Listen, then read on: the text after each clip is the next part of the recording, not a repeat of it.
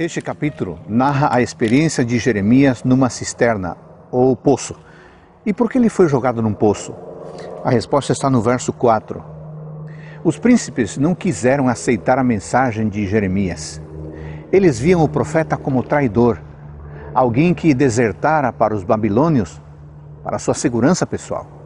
Por isso, eles pediram a penalidade máxima para o profeta Jeremias. Mas Deus estava cuidando de seu mensageiro. Ebed-Meleque, servo do rei, obtém concessão real para proteger o profeta. Pouco tempo depois, em audiência secreta, Jeremias aconselha o rei a salvar a própria vida pela rendição.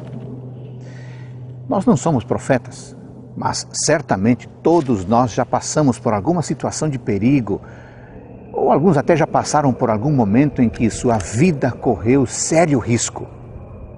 Nestas horas, é bom lembrar que Deus cuida de seus filhos e suas filhas.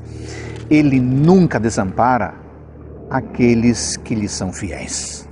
Por isso, no dia de hoje, viva em total fidelidade ao Pai Celestial. Um grande abraço.